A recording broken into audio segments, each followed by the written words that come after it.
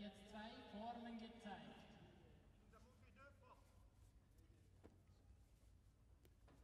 Von oben her nehmend oder auf mittlere